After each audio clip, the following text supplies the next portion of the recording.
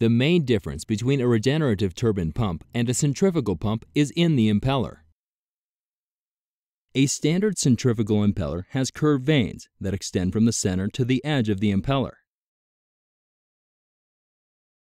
The regenerative turbine impeller has rows of vanes on each side of the impeller's rim. On the suction side, liquid is gathered by the impeller's vanes. After making only one revolution in the annular channel, the fluid has a high velocity that sends the liquid out the discharge.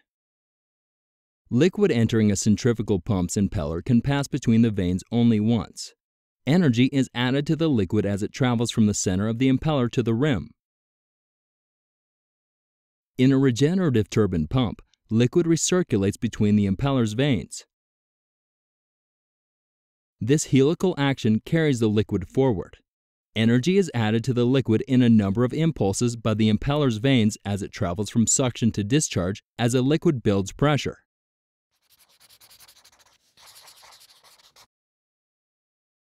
For low-flow, high-head applications, regenerative turbine pumps offer better efficiency than centrifugal pumps and can develop several times the discharge pressure of a centrifugal pump having an equally sized impeller.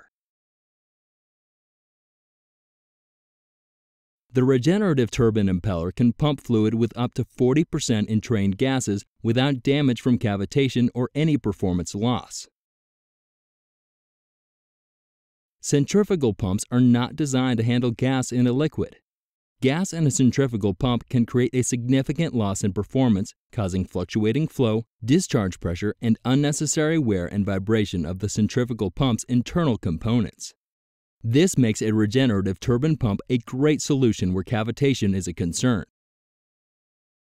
To learn more about regenerative turbine pumps, visit rothpump.com.